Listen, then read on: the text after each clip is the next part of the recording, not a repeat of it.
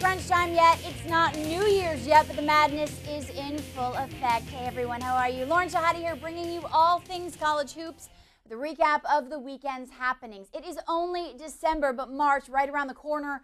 And on Saturday, you could almost taste it. Let me take you out to Seattle for a rematch of the 1999 regional final between UConn and Gonzaga. If you live in Seattle, got to watch this game, that was probably some of the best college basketball you're going to see. Second ranked UConn is a mainstay at the top, but Gonzaga was going to do everything but lay down and die. 88 83 your final in what was a fierce competition between an unbeaten and an unproven. The only thing that changed post game because UConn stayed undefeated was that Gonzaga can now throw their name around with just about any team. With that, let's throw it out to Gus Johnson and Greg Anthony, who are impressed with both teams, but they don't point to offense or defense as key.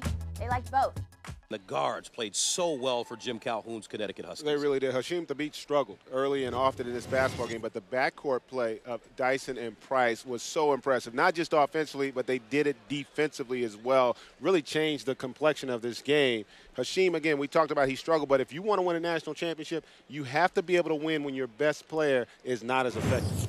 For the Zags, they got a great performance from a virtual unknown in Steven Gray. Oh, he was really huge in turning the tide in that first half offensively. Did a great job of attacking the rim. And, you know, Heytvelt and Pargo were solid, but they weren't as effective down the stretch. When the game got tight, they didn't handle the pressure as well. That's an area where they're going to have to improve if they want to have a chance to get to the Final Four. All right, that's the story from Seattle as Connecticut improves to 10 and 0 and Gonzaga falls to 8 and 2. For Greg Anthony, I'm Gus Johnson. Thanks, guys. Speaking of UConn, remember the 2004 regional final? Another year where Connecticut won it all, but the two teams I'm talking about are Duke and Xavier. It was a case of six versus seven, but this game, unlike Gonzaga UConn, was over at the half, and the stats speak volumes. Duke shot 61.8% from the field in the first half, including 8 of 15 from three point range.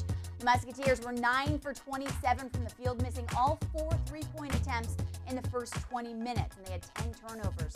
Lesson to Xavier if you're going to turn the ball over, don't give it to this guy.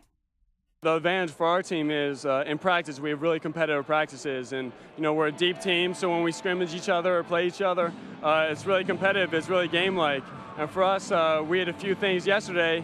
We weren't playing like uh, we would have been in a game, and that's key for us every day out. So our preparation was huge. Well, preparation gave Jon Scheyer a game-high 23 points. More scores for you now. Michigan State coach Tom Izzo told Durrell Summers before Saturday's game against Texas that he was disappointed in how the sophomore guard practiced the previous day.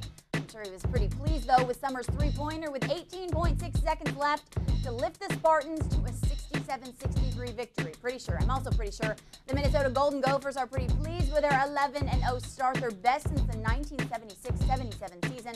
They get the upset over Louisville. And Tennessee head coach Bruce Pearl was trying to prevent having his Vols be upset by Belmont because he has seen it before Alabama's seen it. Cincinnati's seen it. He didn't want to see it, none of it. Saw too much of it. But in the end, Tennessee wins, escapes being left out of the top 25, something Pat Summitt has to be upset about on the women's side of things. Well, don't you be upset one bit. You can get all your college hoops, scores, highlights, much, much more right here on CBSSports.com. That about does it for College Hoops Central and for me.